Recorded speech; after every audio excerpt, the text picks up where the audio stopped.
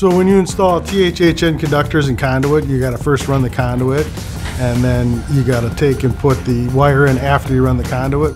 When you run MC cable, you just got to go in the direction you need, and when you're all done, it's it's finished. There's no pulling wire afterwards. Uh, MC cables has a definite benefit in labor savings, especially in walls and ceilings where it's not exposed and that can't be subject to damage. It installs in quite a bit less time than conduit and wire.